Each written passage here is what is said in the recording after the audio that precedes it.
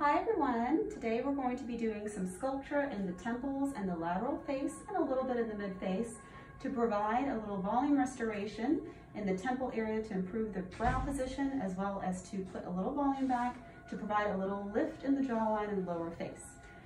And we're going to be using Sculptra again today, so let's go ahead and get started.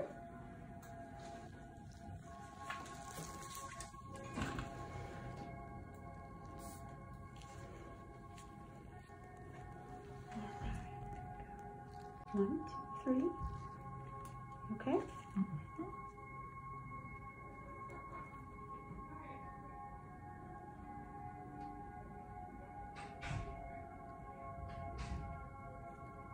Dr. Dickson, you use such good technique, I didn't even feel that.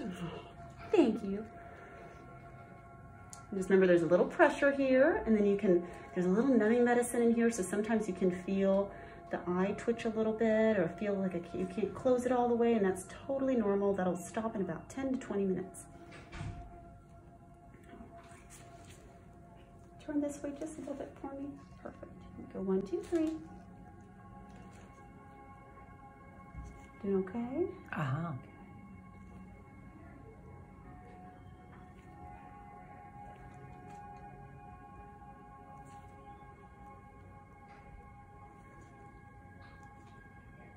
So Dr. Dickson, why Sculptra versus Juvederm or some of the other filler products? What makes Ju Sculptra different? Sculptra is my favorite because it's going to produce your own collagen. So it's a biostimulatory agent. So you're actually going to produce longer lasting results and very natural results. And the, the great thing about Sculptra is you can also inject it all over just to give you volume improvement all over the face rather than just focusing on certain areas such as the cheeks or the jawline. You can kind of target everything one at once to give a nice liquid facelift. And the nice thing is typically we'll do a series like we are now, and this is our third treatment, and then we would do it once a year just for maintenance to keep that collagen stimulation going. Now it is a little different from your regular fillers because it does take about three to nine months for the results to fully come in. But once they do, they're, they really do last a long time and they also improve the texture of the skin. Two, three.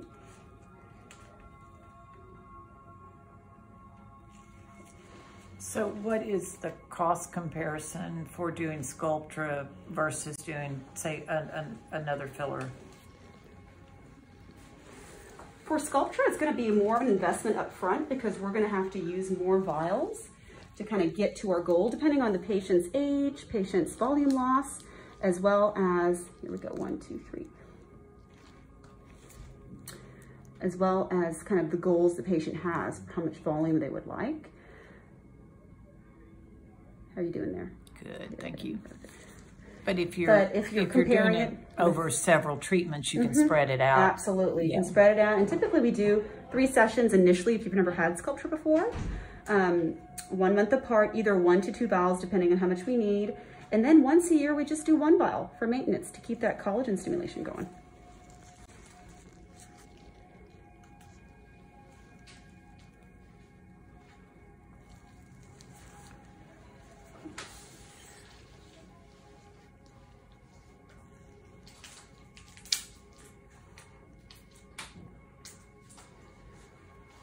And sometimes those that have a little more temple volume loss, you don't have that much of that, but sometimes they need a little bit more Sculptra maintenance because the temples do tend to get hollow pretty quickly over time if that's something that someone's pretty has a tendency towards. Like yeah, myself. I was with a friend last night and she had a lot of wasting right here. Does mm -hmm. that help with that it does. Kind of it wasting helps. as you get older? Absolutely. It helps a lot with volume here and also a lot of individuals will have some radial smile lines that kind of go out here on the cheek. It also helps with that because again, it improves that skin texture. One, two, three, the jawline here.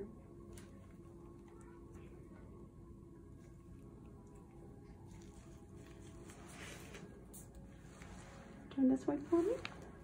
Beautiful. One, two, three.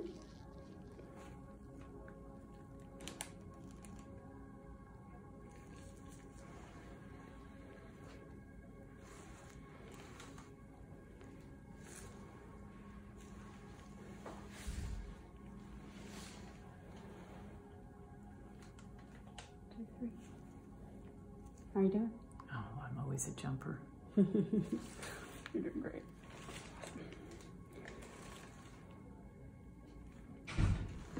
Oh, that Oh, hurt. that hurt. Okay. There you go. All done. Okay. You did great.